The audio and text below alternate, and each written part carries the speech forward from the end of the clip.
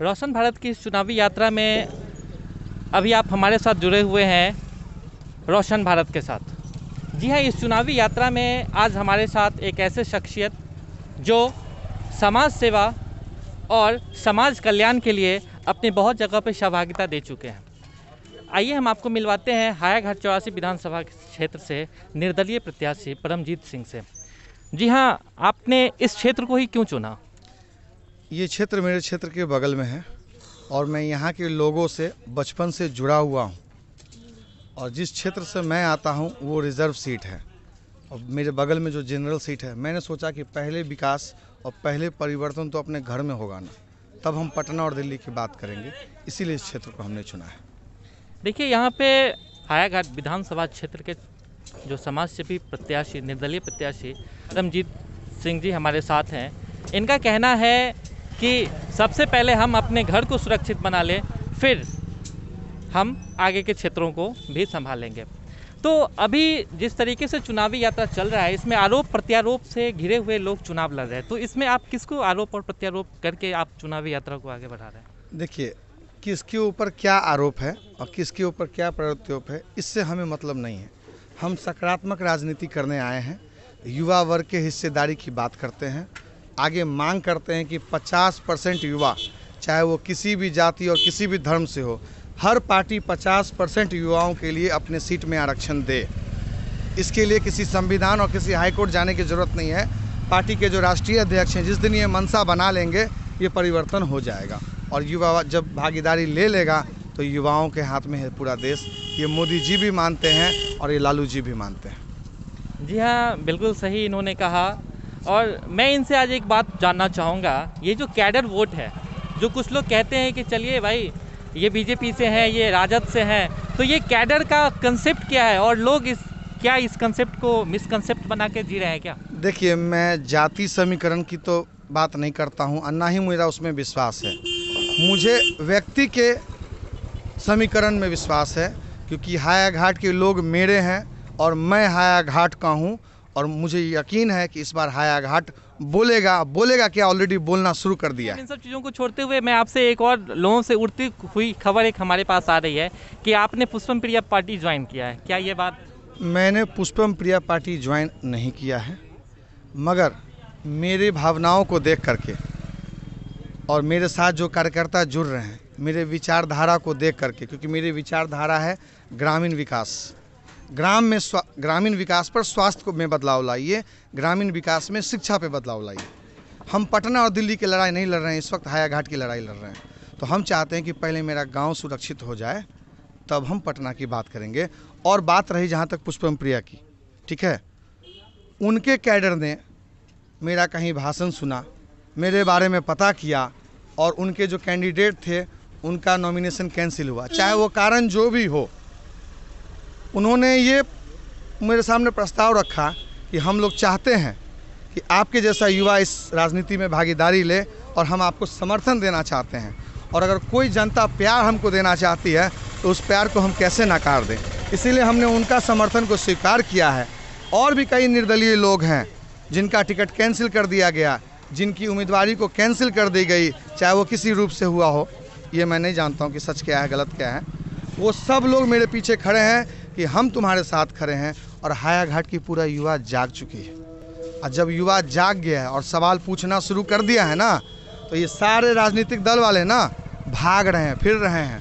और मेरे कुछ मीडिया में मित्र हैं, जिन्होंने मुझे बताया है कि उनके ऊपर राजनीतिक दबाव डाला जा रहा है। पता नहीं आप कैसे आ गए हमसे पूछने के लिए उनके ऊपर राजनीतिक दबाव डाला जा रहा है कि इसको लाइमलाइट में मत लाओ, इसको मीडिया में मत लाओ। नहीं तो राजनीति ख़त्म हो जाएगा और हम लोग तुमको स्पॉन्सर करते हैं ना ऐड देते हैं ना, इसको लाओगे तो सब खत्म हो जाएगा। आप पता नहीं इस प्रेशर में आप अभी तक आए कि नहीं आए, मगर मेरे कई मित्रों ने बताया। मगर मुझे मीडिया वाले अगर मेरे साथ हैं, मेरी बातों को लोग तक पहुंचाते हैं तो अच्छी बात है, नहीं तो सोशल मीडिया इस युवा के पास है। सोशल मीडिया में युवा ऊपर भी बैठाना जानता है और ज़मीन पर बैठाना भी जानता है। तो मैं उन बातों पर यकीन रखता हूँ। सकारात्मक राजनीति करनी है, नकारात्मक में मैं कोई बात नहीं करूँगा। कौन कहाँ क्या किया, पूरी जनता जान रही है। जो पॉजिटिव है ना, उसको लाइए। गाँव में शिक्षा की बात कीजिए, स्वास्थ्य की बात कीजिए। आपके गाँव में इतना परेशानी है कि अगर आदमी स्ट्रेचर पर है, तब भी कहते हैं कि वो मंत्री जी के पैरवी होगा तो एडीएमसीएच में बेड मिलेगा। आप बताइए, उस वक्त पैरवी लाने जाएँगे? अरे, स्वास्थ्य पर सबका अधिकार है। इसमें पैरवी का क्या ज़रूरत है? और हाल फ़िलहाल, तेजस्वी जी क्या बोले? गरीब गुरबा बाबू साहब को आँख दिखा के बात करेगा। अब वो किस संदर्भ में बोले, वो जाने, मगर हम इतना जानते हैं कि गरीब का भी जितना अधिकार है, उतना उस बाबू साहब का भी अधिकार है। ना आप गरीब को आँख दिखाइए और ना गरीब आपको आँख दिखाएगा। क्योंकि समानता की जब बात करते हैं तो दोनों बराबर है। तो मैं अपने चैनल के माध्यम से जनता को ये बात मैं बता दूँ कि इन्होंने इस बात को स्वीकारा है कि हमें पुष्पम प्रिया मतलब पुडलर्स पार्टी की प्रेसिडेंट ने हमें हमारे कार्यशैली को देखते हुए अपना सहयोग दे रहे हैं, जिसकी वजह से मैं उस पार्टी को स्वीकार करना, करने के लिए मैं भी अब तैयार हूँ।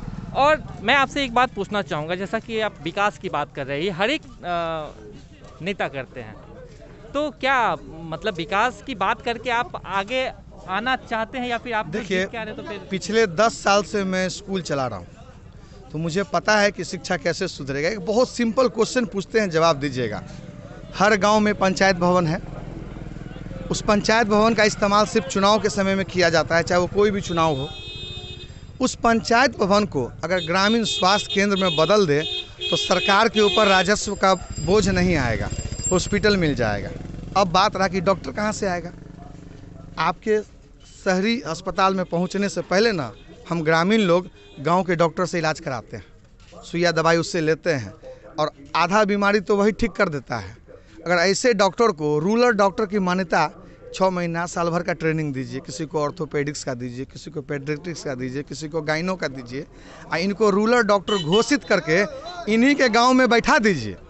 आ देखिए, स्वास्थ्य सुधर जाता है कि नहीं सर सवाल नहीं पूछना है। सवाल के साथ जवाब लीजिए। और एक बहुत बड़ा सवाल है आज युवा वर्ग के सामने। आप देखते होंगे चुनाव के समय में, हर नेता सुबह सुबह एगो रोड मैप लगाता है। फलाने गाँव से इतना बजे शुरू करेंगे, फलाने गाँव में जलपान करेंगे, फलाने गाँव में घूमते घूमते रात्रि विश्राम करेंगे। आप पंद्रह दिन के लिए चुनाव लड़ने आए हैं, दो करोड़ में टिकट किन के तो आपको इतना चिंता है कि रोड मैप बना के चलते हैं कि समय न बर्बाद हो। आ ये जो युवा वर्ग घूम रहा है रोड पर, इसका रोड मैप कहाँ है भाई जी? ये रोड मैप लेके ना आते कि पटना जाना होगा। यही परिवर्तन करना है अगर सारे नेताजी ये बात सोच ले तो उनके रैली में जो हज़ारों की भीड़ होती है वो कैसे होगा फिर? अब उनका तो काम है कि चार साल के डिग्री को छः साल में कराएँगे तो दो साल झंडा लेके घूमेगा युवा। यही है ना उनका। और विकास की जब बात ये लोग करते हैं ना और युवा की बात तो इनके सीधा है कि हमार बेटा पोता होगा तो वो युवा हो गया। आज गरीब जनता के बेटा पोता युवा नहीं है। अब विकास उनके बेटा पोता का हो गया तो ठीक है हमारा नहीं है। तो योशी जी कैगो फैक्ट्री के मालिक है, बताइए ना। कहाँ से धन आता है? कितना महान लोग है कि सब उन्हीं को दान कर देता है, हे भगवान। ऐसा दानी तनी गरीबों, गुरुबा के दह कि बात यहाँ करना है हम लोग को कि उनका एफिडेविट देखिए ना। करोड़ करोड़ रुपया दूसरे को लोन देते हैं। आप और हम बैंक जाइए ना। ज़मीन का कागज़ लेके तो एक लाख रुपया लोन नहीं मिलेगा। चप्पल खिया जाएगा। और दस परसेंट कमीशन लेने वाला एजेंट बाहर बैठेगा। और वो चार चार करोड़ लोन बांटते हैं। हे भगवान ये गरीब के भी लोन दे दे थोड़ा तो ये धान एहन नहीं होते रहा। यही सवाल हमको हमको सवाल सिर्फ़ ग्रामीण स्तर पर करना है। और उसका सुझाव भी मेरे पास है कि कैसे होगा। सिर्फ़ सवाल नहीं पूछे हैं, पढ़े लिखे वर्ग हैं ना। सवाल भी है और जवाब भी है, और जो संसाधन मौजूद है, उस संसाधन को जोड़ के, मिला करके जीना भी सीखें अच्छा चुनाव के दिनों में जब चुनाव एक दो दिन पहले होता है तो विधायक दल के या फिर उस पार्टी के लोग जाते हैं गाँव घर में, कुछ पैसे दे के वोट खरीद लेते। तो क्या आप उन वोटरों को कुछ आगाह करना चाहेंगे कि आज पाँच सौ रुपये में अपनी पाँच साल मत बर्बाद कीजिए? देखिए, मैंने सभी वोटर को अपने तरफ़ से एक कॉपी और एक कलम दिया है। और उनको यही समझाया है कि ये कॉपी और कलम में जो आपको दे रहा हूँ ना, ये सादा कॉपी, इसकी बाज़ार में कीमत कुछ भी नहीं होगी। बहुत मामूली होगा, आप भी खरीद सकते हैं। मगर इस कॉपी पर और इस कलम से, जितने ज़ोर से और जितने सुनहरे शब्दों में अपने आने वाली पीढ़ी का भविष्य आप लिखिएगा ना, वैसा ही भविष्य होगा। तो चुनाव आपको करना है कि आप उनके पैसे लेते हैं, उनका खाना खाते हैं, कि इन सबको छोड़ के कॉपी पर अपना भविष्य लिखते हैं, जो आने वाली पीढ़ी को मज़बूत करेगा।